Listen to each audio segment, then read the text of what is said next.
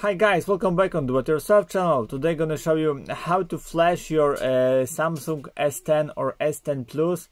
It's very very simple uh, combination. Uh, just watch me and do the same. First of all, you need to download files uh, with the firmware of your S10. Uh, S10 uh, phone or S10 Plus. I'm gonna be write the link below on this video to download the flash for the S10 uh, next after you're gonna download uh, the file you need to uh, enter download mode in the phone. So turn off the device.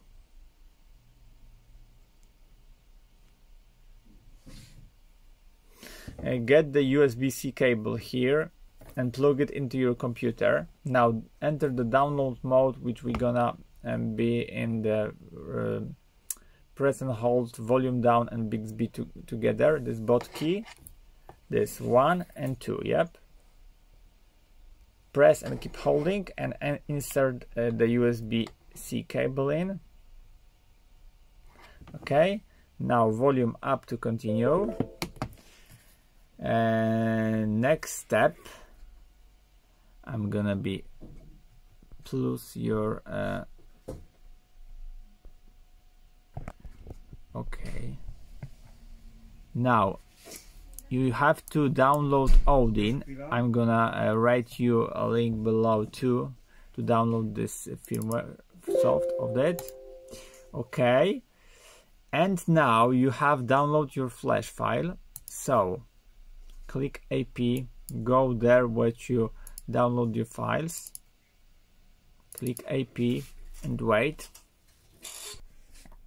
now seek the BL, BL here, CP, and CSC without the home. Yep. Now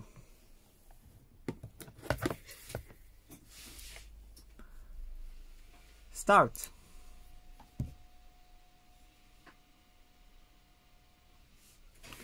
And that's it phone as you see is flashing. And we're gonna uh, uh, uh, wait until it gonna be uh, processing uh, at to the end.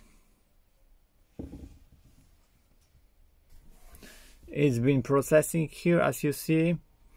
It's been around 80% and it's been uh, at the end of the process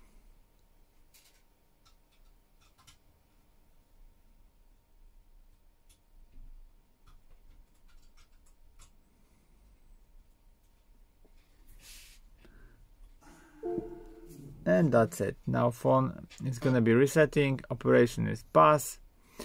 And voila you have um, write the new firmware into your